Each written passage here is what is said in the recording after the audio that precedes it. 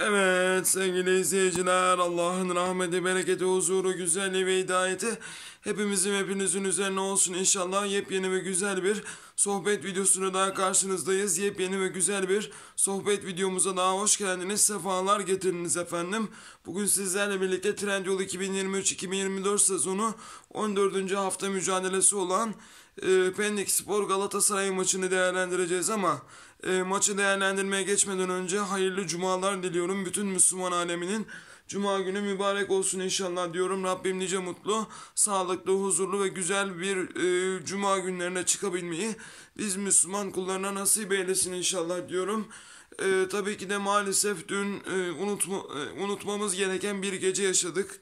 E, maalesef Fenerbahçe ve Beşiktaş'ın almış olduğu ağır mağlubiyetler, Beşiktaş'ın kendi evinde kulüp proje 5-0 mağlup olması, Fenerbahçe'nin Norşenat denilen e, ismini dahi zor telaffuz ettiğimiz bir takım olan e, Norşenat takımına deplasmanda 6 gol yemesi ve 6-1 mağlup olması. Yani gerçekten utanç verici bir geceydi diyebiliriz. Türk futbol adına unutulması gereken hani maalesef e, Beşiktaş bu sezon zaten e, Avrupa'da bütün takımlardan 3-7, 4-7, 5-7. Hadi Beşiktaş zaten prestij maçına çıkmıştı. Ya Fenerbahçe gibi bir takım. İsmail Kartal o kadar konuşuyorsun. O kadar Galatasaray'la alakalı manipülasyonlar yapıyorsun. Açıklamalar yapıyorsunuz. Ortamı geriyorsunuz. Avrupa'da bari kendinizi gösterin ya. Avrupa'da bari çıkın kendinizi gösterin kardeşim. Altı yemek nedir ya? Altı yemek nedir arkadaş? Altı yemek nedir? Bana bunu biri anlasın. Hani ben Galatasaraylı olarak çok üzüldüm yani Fenerbahçe'nin durumuna. Düşünün artık Fenerbahçeliler kesin yatamamıştır yani. Yazık günah ya ya. Arkadaş sen Galatasaray'la uğraşacağına kendi futbol futbolcularına ve oyununa bak. Spartak Tırnava'yı Fenerbahçe eğer kendi evinde Kadıköy'de yenemezse mağlup olursa UEFA Konferans Ligi'ne veda ediyor. Zaten Beşiktaş Konferans Ligi'ne veda etti. Son iki maçı formalite maçı yani e, prestij maçı. Yani Beşiktaş zaten e, söylemeye gerek yok artık yani skandallar ötesinde bir durum. Yani rezilliğin ötesinde kepazelik bir duruma düştüler. Hani iki takımın da bu sezon Galatasaray'la çok uğraşmaları özellikle Fenerbahçe'nin başını çok ağrıtıyor. Yani ne zaman Galatasaray'la uğraşırlarsa e, pişman hale geliyorlar. Ya Galatasaray'la uğraşmayın ya bu kadar basit. Ligde lider oldunuz. Aynı puana sahipsiniz. Averajla lider oldunuz. Yani ligde de öyle e, büyük bir başarınız yok. Hani böyle 5 e, puan fark atayım, 10 puan fark atayım diye bir durum yok. Karagümrük maçını hakem sayesinde aldınız. Hani e, tamam herkes şunu da diyor. Şimanski'nin pozisyonunda niye penaltı verilmedi deniyor. Tamam ona ona da verilebilirdi eyvallah. Ama e, Şimanski'nin pozisyonundan daha net olan el pozisyonu vardı. Buna verilmedi. Biz Manchester United maçında 3-1'den maça çeviriyoruz. Manchester United'a kafa tutuyoruz. Fenerbahçe Norşenand'a yeniliyor. Ya ben bunu kabul edemiyorum arkadaş. Türkiye'nin yüz karaları bunlar. Fenerbahçe'de Beşiktaş'ta. Kimse kusura bakmasın yani bugün e, sert konuşacağım çünkü ya biri 5 yiyor biri 6 yiyor ya nasıl kabul ederiz bunu arkadaş? Hani tamam ligde 5 yersin Fenerbahçe yener 5 yer ligde inanılmaz sevinirim ya mutlu olurum göbek atarım uçarım kaçarım ama Avrupa'da 6 yiyince kabul edemiyorum arkadaş. Avrupa'da birlik olmamız gereken bir dönemde sen Nörçaland'a gidiyorsun Nörçaland deplasmanında 6 yiyorsun ve utanmadan sıkılmadan açıklama bile yapmıyorsun konuşmuyorsun ya. Galibiyet alınca konuşuyorsun, mağlubiyet alınca konuşmuyorsun İsmail Kartal. Yani senin de demek ki çok büyük bir problemin var yani. Onu da kabul et arkadaş. Sen de iyi bir teknik direktör değilsin. Fred, Beka, Ciko arkadaş nedir ya? İki haftadır, üç haftadır Beka, Ciko oynamıyor diye Fenerbahçe bu kadar da dağılamaz arkadaş. Avrupa'da bu kadar dağılamazsın ya. Yenildiğin takım Nörşaland arkadaş ya. Sen Nörşaland'a Ludogorets'e nasıl yenilirsin ya? Ya bunu bana birisi çıksın. Yani dürüst olarak açıklasın arkadaş. Bizim bizimle dalga geçen işte Manchester'dan averaj yiyecek diyen, Bayern Münih'ten averaj yiyecek diyen e, diyenler nerede acaba ya? Onlar neredeler arkadaş? O onu söyleyenler o kişiler nerede yani? Manchester'a kafa tutan, Bayern Münih'le e, kafa kafaya yarışan ama hakemler yüzünden iki maçtır bakın hakemler yüzünden doğranıyoruz. Hakemler yüzünden Galatasaray, Fenerbahçe ve Beşiktaş'tan Avrupa'da daha iyi top oynuyor. Bunu kabul edelim artık. Yani biz Manchester United maçında 3-3 berabere kaldık. 3-1'den e, Kerem'in golü muazzamdı. Hakim Ziyech inanılmaz iki frikik golü attı. Bununla birlikte e, verilmeyen penaltılarımız var. Keza e, verilmeyen penaltımız ve golümüz var. Yani buz gibi gol. Hani e, offside'e çiziyorlar ne hikmetse bizim maçlarda hep e, diğer maçlarda da oldu. Fenerbahçe'nin de iki tane iptal edilen golü var ama bu bir e, bahane değil. Fred'in, e, Beka'nın, Ciku'nun olmaması bir bahane değil. Fenerbahçe'nin gollerinin offside'e takılması bir bahane değil. Fenerbahçe sahada top oynamadı ya. Top oynamadı arkadaş. Top oynamadı. Sadece bir Başşuay'ın atmış olduğu güzel bir gol var. Onun haricinde Fenerbahçe'nin öyle e, güzel oynadığı bir maç değildi. Altı yani dua etsinler ki e, birkaç pozisyonda Livakovic kurtardı. Livakovic kurtarmasa maç 10'a 11'e gidecek ya. Bu şaka gibi arkadaş. İnanması inanılma inanmak mümkün değil ya. Gerçekten şaka gibi bir e, akşam yaşadık. Yani unutmamız gereken bir kara perşembe diyebiliriz. E, bununla birlikte bakıyoruz. E, bizim oynadığımız maçta işte e, Icardi'nin golünde adamlar öyle bir yani bu otomatik sistemi ben bir türlü anlayamıyorum ya. Bu otomatik sistemi siz nasıl çiziyorsunuz? Icardi'nin bakın Icardi'yi hep eleştiriyoruz. İşte oynamıyor, oynatmıyor. Manchester maçında sahada yok. Hiç topa dokunmadı. Yani bunu eleştirenler olmuştur muhakkak. Ama adam ilk şutta golü attı arkadaş. İlk şutta golü attı adam ya. Senin Cekon bunu yapamıyor arkadaş. Kusura bakma. Senin Cekon bunu yapamıyor İsmail Kartal. Baş ile oynuyorsun. Başşuay elinden geleni yapıyor ama sen Başşuay'ı çıkarıyorsun. Yani hakikaten çok vasat bir teknik direktörsün. Yani bunu kabul et arkadaş. Ludogorets'te oynamak, Tırnava oynamak Avrupa'nın en kolay e, takımlarıyla oynuyorsun ve en kolay takımlarına yeniliyorsun ya. Ya bunu kabul edin arkadaş. Hani bunu söylediğimiz zaman bana kızmayın. Bana kızmayın arkadaş. Görüntüler ortada. Fenerbahçe'nin nasıl bir duruma geldiği ortada.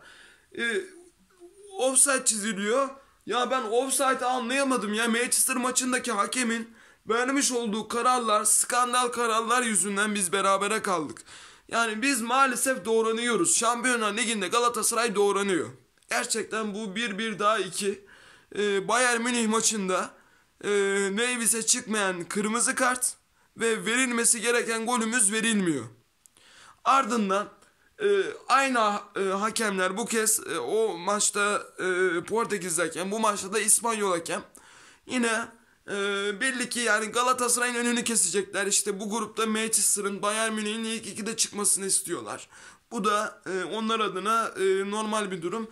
Biz her halükarda artık e, elimiz kader bizim kendi elimizde. Biz e, iyi oynadık, iyi mücadele ettik. Hani Fenerbahçe ve Beşiktaş'ın futbolunu gördükten sonra ben Galatasaray'ın berabere kalmasından dolayı gerçekten büyük bir gurur duydum. Yani özellikle Şampiyonlar Ligi'nde her puanın ayrı bir değeri var ve önemi var. Gerçi Bayern Münih'te Kopenhag maçına yatmasaydı keşke. Onlar da bilerek ve isteyerek attılar. Bunu kesinlikle kabul ediyorum. Çünkü orada da kadın hakemin vermiş olduğu son dakikada skandal bir e, penaltı iptal kararı var ki yani gerçekten hani ya ben artık ne diyeceğimi bilmiyorum. Ya Avrupa'da iyi oynasak da iyi mücadele etsek de hakemler önümüzü kesiyor. Ligde önümüzü kesiyorlar. Yani ben e, artık bir şey de diyemiyorum ya gerçekten hani Galatasaray'la uğraşmaktan e, hakemler yorulmuyor ya Avrupa'da başka uğraşıyorlar ligde başka uğraşıyorlar ama şunu söyleyeyim hiç kimse Galatasaray'ın önünü kesemez arkadaş bu kadar basit Fenerbahçe istediği kadar averajda lider olsun ligde. Avrupa'daki durumunu görüyoruz ya. Avrupa'da 6 tane gol yiyecek kadar rezil bir takım. Avrupa'da 6 tane gol yiyecek kadar rezil bir takımsınız. Beşiktaş zaten söylemeye gerek yok. Rıza Çalınma ile 2 galibiyet aldı diye havalara uçtular işte. Samsun'u 2-1 yendik. Ardından e, Başakşehir'i 1-0 yendik diye havaya girdiler. Arkadaş sen senin rakibin Samsun değil ki. Senin rakibin Başakşehir değil ki. Senin rakibin Kulüp Buruş. Sen bu maçı kazanacaksın. Prestij maçı olsa da ülkene puan kazandıracaksın ya. Bir puanla sonuncu sırada olmak grubunda ne demek ya? Grubunda Bodo Glimt diye bir tane tanınmayan bir takım var. Lugano diye bilinmeyen bir takım var. Ya bu takımlara yeniliyorsun ya. Beşiktaş artık ne diyeyim ya? Artık ben size ne diyeyim yani yuh diyorum artık yani. Yuhun ötesinde pes artık diyorum. Yani gerçekten e, ülkemizi böyle te- temsil etmeye devam edin.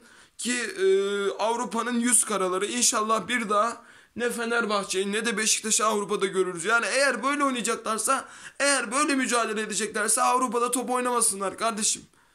Avrupa'da top oynamasınlar. Yani 3 tane sakatla sen olayı bağlıyorsan, bahane arıyorsan, arkadaş Galatasaray'ın da bahanesi vardı. Davinson Sanchez yoktu ama Galatasaray ne yaptı? Aslanlar gibi çıktı mücadele etti. 3 gol yedi ama 3 gol attı. Sen 6 gol yiyorsun. Belki de 6 tane atacağın takıma 6 tane gol yiyorsun ve karşılık veremiyorsun. Ya bu ne demek ya? Ya hak- hakikaten çok sinirliyim, sinir doluyum. Ama inşallah bundan sonraki maçlarda hani Fenerbahçe'nin işi de zora girdi. Hani Spartak Tırnava'yı Kadıköy'de yenecek. Hani herkes diyor Spartak Tırnava'yı yener. Arkadaş Spartak Tırnava'yı yener de ilk maçta da Spartak Tırnava'ya karşı zorlanan bir Fenerbahçe vardı. Hani öyle artık puan aslanın ağzında Avrupa Ligi'nde. Yani öyle sen bir hata yaparsın, iki hata yaparsın, ligde affedersin e, telafisini edersin ama Avrupa'da bunun telafisi yok. Bizim de yok. Bizim Kopenhag maçına çıkacağız. Çatır çatır oynayacağız. Gerekirse hakemi de yenmek zorunda kalacağımız bir maça daha çıkacağız bence. Yani ne hikmetse maalesef bizim gollerimiz incelenirken işte e, adamın e, kolu önde adamın bu, e, bu omuz hizasından offside çiziyorlar. Yani ben artık anlayamıyorum ya gerçekten Türk düşmanlığını, e, hakemlerin anlayamıyorum. Allah'tan sağ olsun Onana e, ikinci golde büyük hatası var. Yani sektirip orada e, hakem için vuruşu güzel ama ikinci golde mesela Onana'nın frikikte hatası vardı ki ilk o hatayı yapmış. Hani Onana sayesinde en azından bir puanı aldık yani. Buna da şükretmemiz lazım. 5 puan e, kötü bir puan değil ama Galatasaray'da bence hak ettiği durumda değil. Oyun anlamında biz Bayern Münih'i de yenerdik. Gerçekten Manchester'da yenerdik ama işte bazı şeyler gerçekten olmayınca hani derler ya topta sevecek seni. Şampiyonlar Ligi'ndeki klasik söz yenemiyorsan yenilmeyeceksin kardeşim. Yani gerçekten hani yenemiyorsan kardeşim mücadele edeceksin yenilmeyeceksin. Bir puanı alacaksın. Galatasaray da bunu yaptı. Manchester maçında ilk 20 dakika kötü oynadık. Kötü başladık. Kötü goller yedik. Yani mükemmel goller attılar ama bizim gollerimiz de bir o kadar güzeldi. Özellikle Kerem'in golü ve Ziyech'in ilk frikik golü muazzam gollerde. Hani Mauro Icardi'nin golünün iptal edilmesi yani hakikaten Barcelona maçında Gomis, Bayern Münih maçında Torreira, Manchester maçında Icardi. Yani ne diyeyim ya gerçekten hani bu otomatik sistemi nasıl kullanıyorlar, nasıl yapıyorlar onu da ayrı bir şüpheyle e, yaklaşmıyor değilim. Peki geçelim Pendik Spor maçına. Artık Şampiyonlar Ligi'ni konuştuk. Fenerbahçe'nin mağlubiyetini, Beşiktaş'ın yüz karalık e, ikisinin de almış olduğu ağır, rezil ve kapaze futbolunu konuştuk. E, yani kimse kusura bakmasın. Yani ben burada Fenerbahçe'nin 6-0'lık galibiyeti, 6 6 birlik mağlubiyetini de övecek değilim. Ne kadar hani ikinci olsa da o, olsun. Bu grupta her takımı yeneceksin kardeşim. Norşaland'ı yeneceksin. Samet yok diye ardından işte Samet yok, Beka yok, Ciku yok, Fred yok diye sen Norşaland'dan 6 gol yemeye mahkum bir takım değilsin. Senin adın Fenerbahçe sana büyük takım diyorlar. Demek ki sen büyük takım değilsin kardeşim. Sen senin gücün bu kadar yani. Beşiktaş'ı zaten saymıyorum bile artık yani gelene geçene 5 yiyorlar. Son maçta da bunlar kesin deplasmanda yenilir. Yani hiç şaşırmam. Ee, neyse e, geçelim e, Pendik Spor maçına. Galatasaray'ımız 34 puanda. E, tabii ki de Pendik Spor'la oynayacağımız maç önemli. E, maçı kazanırsak Fenerbahçe'den liderliği alacağız. Ama e, şöyle bir durum var. E, yani bu maçı kazansak bile Fenerbahçe'nin pazartesi günü Sivas Spor maçını e, kaybedeceğine dair bir e, durum yok ve e, bu beni üzüyor. Çünkü neden? Yani Fenerbahçe kötü oynasa da hakemler bir şekilde Fenerbahçe'nin puan almasına yardım ediyorlar. Hani e, inşallah öyle bir durum olmaz. Bizler tabii ki de maç maç bakacağız. Bizler kendi ipimizi e, kendimiz keseceğiz adeta. E, Şampiyonlar Ligi'nde de böyle olacak. E, ligde de böyle olacak. e, mücadelemizi devam ettirmeye, e, sürdürmeye devam edeceğiz son ana kadar. Biz de bu şampiyonluk yarışında hala varız.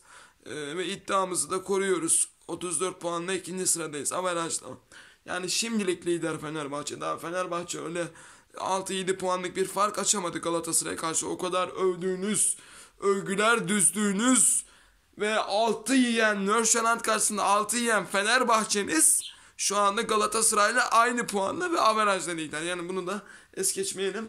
Ee, ve e, ben Pendik Spor maçında Galatasaray'ın şahsen e, kazanacağını düşünüyorum. Averaj olur mu bilmiyorum ama e, en kötü bir 3-0 diyorum. E, gollerimizi artık yani Mauro Icardi e, Manchester maçında biraz etkili değildi ama attığı gol yani o adam Icardi. Icardi'ye top geldiği zaman Icardi golü atar. Ki Manchester maçında da gerçekten bence buz gibi net e, verilmesi gereken golümüz iptal edildi. Hani bana kalırsa ben o yarı otomatik sistemden tekrar pozisyona baktım, inceledim. Orada bence offside'lik bir durum yok. Ama işte e, gelin görün ki bu e, İspanyol hakemin vermiş olduğu skandal kararlarla e, 3 puandan olduk diyebiliriz. Hani penaltımız ve golümüz verilseydi 5-3 kazanabilirdik. E, Pendik Spor maçında ben Icardi'nin gol atacağını düşünüyorum. Kerem Aktürkoğlu e, mükemmel bir gol attı. Yani taraftarın linç etmesine rağmen, taraftarın çok küfür etmesine, taraftarın onunla ilgili e, olumsuz görüşlerine rağmen çıkıp e, mücadele etti. Mükemmel bir gol attı. Yani e, hani burada Onana'yı eleştiremem. Hani ikinci golde eleştiririm. Ama üçüncü golde Onana'yı eleştiremem. Çünkü o kadar güzel vuruyor ki Onana uçsa bile kurtaramaz. Öyle bir yere gidiyor ki top 90'a giden bir gol oldu. Bence Şampiyonlar Ligi'nde haftanın golü seçilmesi lazım. Ki e, haftanın 11'ine Hakim Ziyech girmiş. Haftanın oyuncusunda seçildi faslı oyuncumuz. Bence Kerem Aktürkoğlu'nun golünü de haftanın Şampiyonlar Ligi'nde 5. haftanın en güzel golü seçmeleri gerekiyor diye şahsen düşünüyorum. Bu benim kendi düşüncem. E, ben Kerem Aktürkoğlu'nun gol atacağını düşünüyorum ve e, Wilfred Zaha'dan gol bekliyorum. Hani Wilfred Zaha Manchester'a gol atacak demiştim. Ki öyle oluyordu aslında. Hani Icardi atmıştı. Icardi'ninki maalesef hakem yüzünden golü güme gitti ama e, Zaha iki tane net pozisyona girip birinde kalecinin üzerine vurması birinde de kötü bir e, vuruş yapmasından dolayı gol atamadı ama sonuçta Zaha ligde formda son e, lig maçlarında 3 maçında son 3 lig maçında gol atan bir Wilfred Zaha'dan bahsediyoruz. Fil dişili oyuncumuz.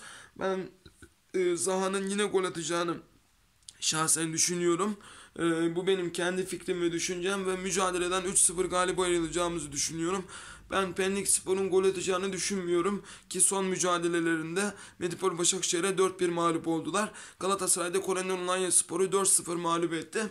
Yani o yüzden dolayı ben e, deplasmanda da olsa inşallah Fenerbahçe'nin yaşadığı sakatlıklar gibi sakatlıklar yaşayıp da e, form düşüklüğüyle e, sonraki maçlarda karşılaşmayız diye ümit ediyorum. E, ve Galatasaray Pendik Spor maçında başarılar diliyorum. İnşallah hakemin konuşulmadığı keyifli, güzel, bol gollü 3-0'ın üzerinde olan e, bir skorda olmasını temenni ediyorum. Hani averaja da ihtiyacımız var artık e, lider olabilmek için. Yani Fenerbahçe ile aynı puanda olmak lider olmamıza maalesef yetmiyor. Averajda e, averajın üstüne Fenerbahçe'nin gol averajının üstüne çıkmamız gerekiyor. Bu da büyük bizim için Pendik Spor'la oynamak büyük bir avantaj. Ha, onlar da belki gol atabilir mi? Erencan Yardımcı belki bir gol atabilir ama ben zannetmiyorum. Benim skor tahminim 3-0 keyifli bir mücadele olacağını düşünüyorum. Ee, ve e, mücadele yarın akşam oynanacak saat 19'da başlayacak ve Beyin Sports ekranlarından naklen canlı olarak Pendik Spor Galatasaray Trendyol 2023-2024 sezonu 14. hafta mücadelesini izleyebilirsiniz. Bu güzel sohbet videomuzda maç günü e, Galatasaray'ın Süper Lig maçı yarın olduğu için bu videoda yarın Osman Burak Çelik adlı 3. yeni YouTube kanalında olacak diyelim ve böyle güzel ve özel Galatasaray futbol takımımızın Trendyol 2023-2024 sezonu hafta hafta maçlarına özel, maçlardan önce değerlendirme özel sohbet videolarının Osman Burak Çelik adlı 3. yeni YouTube kanalımda devamının gelmesi için az önce de belirttiğim gibi Osman Burak Çelik adlı 3. yeni YouTube kanalıma abone olmayı, like atmayı, yorum yazmayı unutmayın. Yepyeni ve güzel Trendyol 2023-2024 sezonu Galatasaray futbol takımımızın maçlarına özel sohbet videolarıyla daha karşınızda olabilmek ümidiyle şimdilik hayırlı günler ve hayırlı cumalar diliyorum. Güzel bir cuma günü olmasını temenni ediyorum. Kendinize çok iyi bakın. Sağlıcakla kalın. Allah'a emanet olun. Hoşça kalın sevgili izleyiciler. Hoşça kalın.